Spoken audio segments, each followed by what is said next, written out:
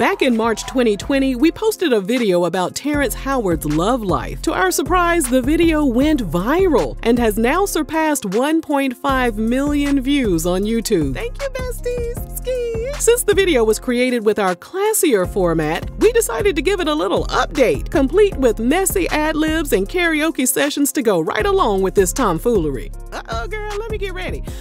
me, me, me, me. Of course, if you prefer our previous format, then you're more than welcome to watch the old video, which we've linked in our description box. But for the rest of y'all, are you ready to jump into this hot, stankin' mess? Will Cardi B forgive Offset? Do chitlin stank? Hell ready. Well, before we jump into it, don't forget to head on over to rrgsnacks.com, our online concession stand that has an assortment of beef and bacon jerky, blue raspberry licorice, RRG coffee mugs, and butter toffee peanuts. Pass me some of them peanuts, girl. To understand his views on relationships, we have to take you all the way back to 1968. 16 year old Anita Howard found out she was expecting her second child with her husband, 18 year old Tyrone Howard. Anita decided she wasn't ready for another baby, so her brother agreed to take her to an abortion clinic. They stopped at a red light, and Anita had a change of heart. She told her brother, No, this would not be happening if he wasn't meant to be here. She gave birth to Terrence Deshawn Howard on March 11, 1969, in Chicago. A damn Pisces. I knew it. I knew it. He told Rolling Stone magazine that his skin was so yellow when he was born. Yellow bone, that's what he want.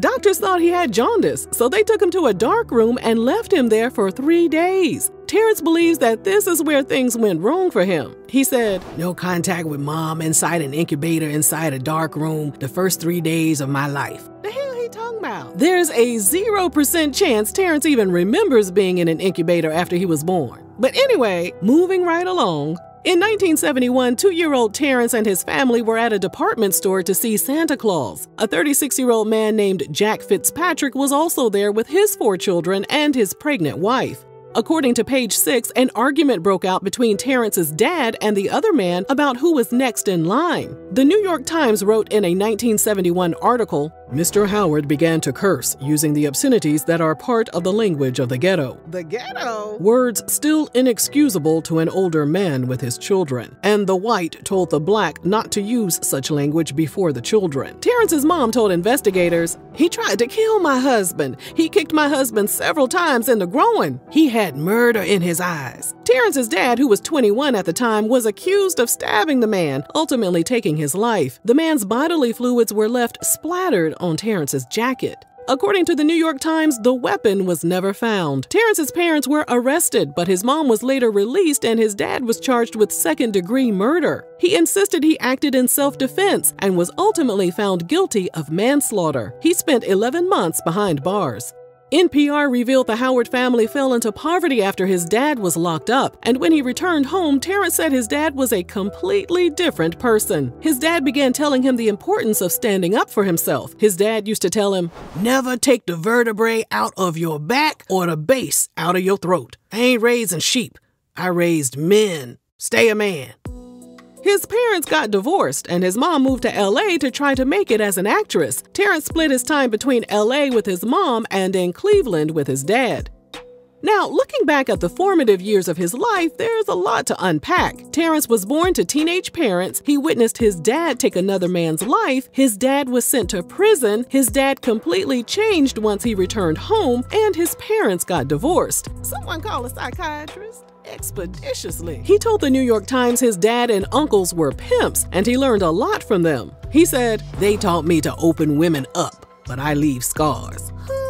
He later clarified to Elle magazine that they were, quote, pimps in the figurative sense. He said the men in his family also taught him the most important advice whoever has the least interest in the relationship holds all the power. I know that's right.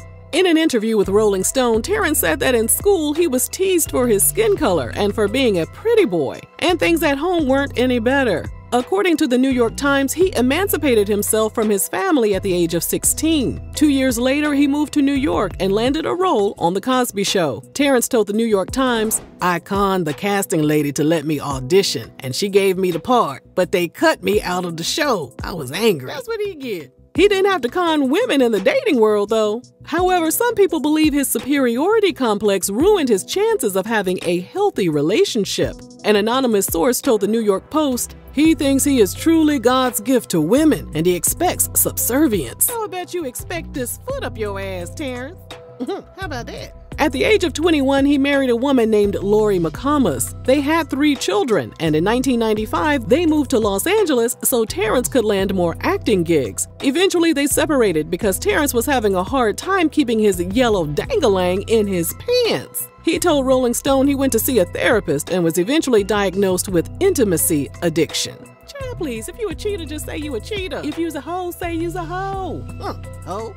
As his marriage fell apart, he told the New York Times he was ready to quit the entertainment business and even contemplated ending his life. The one thing that saved him was when he landed his breakout role in the 1999 film The Best Man. Girl, let me add that to my holiday playlist. That's a good ass movie, girl. His career was finally headed in the right direction, but his marriage to Lori was a hot, stankin' nightmare. In 2001, she hung up on him during a heated telephone conversation. In response, Terrence went to her house, broke the front door door, ran through the screen door, grabbed her arm, and reportedly hit her in the face twice. He sound crazy as hell. He and Lori divorced in 2003. They got married in 2005, only to divorce again in 2007 after Lori said, I gotta put me first, Lucius. she reconnected with her high school sweetheart and left Terrence in the dust. Bye, Ashy. Terrence was back on the market. Perhaps he wasn't looking for love, but he was open to meeting new people. He told Essence magazine he tried to spit game to Halle Berry and Gabrielle Union, but neither of them called him back. They probably saw the red flags. For the ladies who gave him the time of day, Terrence had some very strict requirements. He told Elle magazine he liked women who looked like him and shared his physical features. Now say what now? Girl, I'm confused. So this ninja in love with himself. He also claimed that intimacy had been detrimental to him in the past, so he was abstaining from all boot knocking activities. He said his new rule allowed him to date three or four women at a time without getting too attached. However, some of the women would push him to take things further. He said, afterward I would feel unclean like I'd compromised my own values. Ninja, what values? Got no damn values. Another strict requirement had to do with personal hygiene. He told Elle magazine he expected to see baby wipes in every woman's bathroom. He added, and if she doesn't make the adjustment to baby wipes, I'll know she's not completely clean. Ninja, like we know you not completely sane, okay? His dating life had to take a back seat in 2008 when his mom was diagnosed with colon cancer. She passed away that same year at the age of 56, and he told the Entertainment Industry Foundation, you never really know how important somebody is until they're not there anymore. On an unknown date, Terrence began dating a woman named Michelle Ghent. The New York Daily News reported that in 2009, he told Michelle he wanted to end his life, and he pretended to swallow a handful of Valtrex, a medication used to treat herpes. Now say what now? Terrence recalled the event and said he only did it because he wanted to break up with Michelle. Okay, but we gonna circle back around to the prescription or no? We ain't gonna talk about it. Okay, girl. Nonetheless, they eventually got engaged. Terrence admitted he cheated on her with multiple women throughout their engagement because he didn't think he and Michelle were compatible in the bedroom. Does that make him crazy? Does that make him crazy? Does that make him crazy? Possibly. this ninja. Deep down inside, Terrence wanted to become a better man. Did he though? According to the New York Daily News, he was a Jehovah's Witness at the time, and being monogamous and applying the principles of the Bible were extremely important to him. So he and Michelle secretly got married in January 2010. Michelle said a week after tying the knot, Terrence laid hands on her. This ninja. But that's not all. Terrence later admitted he and Michelle experimented with different substances because being under the influence was the only time they were ever happy. A year after they got married, they separated, and in February 2011, she filed for divorce. Michelle threatened to leak damaging info about Terrence to the public. In response, the Chicago Tribune reported that Terrence paid her $40,000 in hush money in addition to a spousal support settlement settlement. Lord, this is messy. In December 2011, E! News reported that Michelle was granted a restraining order after she claimed Terrence threatened to take her life. Weeks later, Terrence filed a restraining order of his own, claiming Michelle didn't like black people. and he accused her of still trying to extort him with the juicy information she was in possession of. How much information did Michelle have? Well, like 21 Savage said, a lot. According to People magazine, Michelle had phone recordings of Terrence having naughty conversations with other women. She also had text messages and emails from Terrence that exposed his alleged substance issue, infidelities, their three way action, and a video of him dancing in his birthday suit. Nobody want to see that mess. The final bombshell was Terrence admitting he paid Michelle the $40,000 in hush money to keep her from exposing his herpes diagnosis to the public. Like she owed him a refund then. When Michelle's lawyer asked Terrence if he gave Michelle the STD, Terrence answered, Yes, I did, or she gave it to me. Well, which one is it, Terrence? A judge later ruled in Terrence's favor and reversed the divorce settlement. Michelle kept him in and out of court for years, and in a later hearing, the actor was ordered to pay her $1.3 million in past due spousal support. Got him. He and Michelle attempted to reconcile in July 2013 by taking a trip to Costa Rica. But while there, Terrence allegedly put his hands on her inside their vacation home. Michelle pepper sprayed him in defense. I know that's right, girl. She was ready for his black ass this time. And upon returning to Los Angeles, she was granted yet another restraining order. Toxic as hell. Terrence was back on the prowl. After appearing in the 2013 movie The Butler, he discussed his love scene with his co star Oprah Winfrey by saying, To be able to make out with Oprah, to have, to have love scenes with her and those tiggle bitties. I mean, um, In late 2013, he went to an LA restaurant and spotted a woman having lunch with a man. Terrence walked up to the man and said, I don't know if she's your wife or girlfriend, but she's absolutely stunning. The woman was Miranda Pak, and the man was her old boss. Miranda told Terrence he was very bold to approach them, and Terrence responded, Well, only a tiger can approach a tiger. What in the jungle fever? According to Rolling Stone, they got married three weeks later. This gonna be messy, ain't it? He must have a dangling of gold.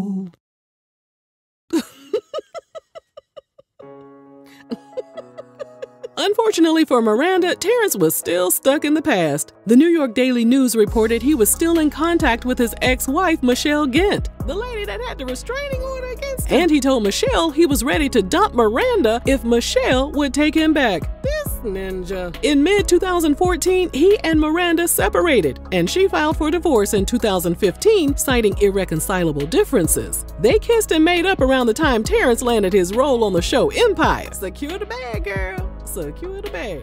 In June 2015, he and Miranda welcomed their first son. Miranda told Rolling Stone they had an amazing connection, but she knew Terrence wasn't perfect. She said he didn't cook, didn't do dishes, and he didn't lift a finger around the house. Honey, that's a child, not a husband. She called him selfish before jokingly saying, I probably leave him 30 times a month. Make it 31, girl. If that didn't raise enough eyebrows, Miranda said that after two years of marriage, they had only gone out to restaurants about two or three times. I know you motherfucking lying. They never went grocery shopping together, never went to the movies, and she never even received a gift from him. Oh, hell no. In addition, she said Terrence spent all of his free time creating plastic shapes and three dimensional building blocks tied together by a copper wire. Oh, that's right. He trying to open the flower to life. Y'all remember that? Terrence confirmed they worked on the pieces together for about 17 hours every day. Girl, if you don't get your ass about that marriage. Even though he was making a decent paycheck on Empire, he told Rolling Stone his checks were garnished by his ex-wife Michelle to cover her spousal support payments. Terrence revealed Miranda was the one paying the rent on their Chicago apartment, but they had plans to buy a house in the San Fernando Valley after he got his spousal support situation squared away. Mm-hmm. Like they say they gonna pay you back when they tax return come in.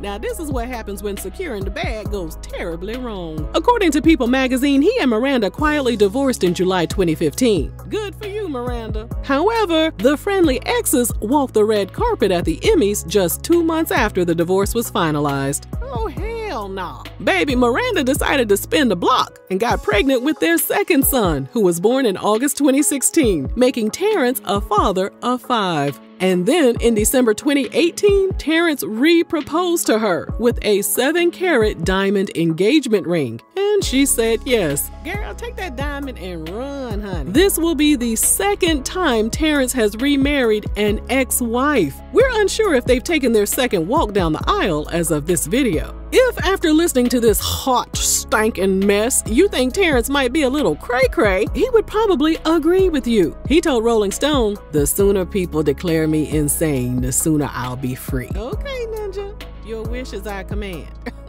if you enjoyed this video, let us know your thoughts down below. And thanks for watching RRG.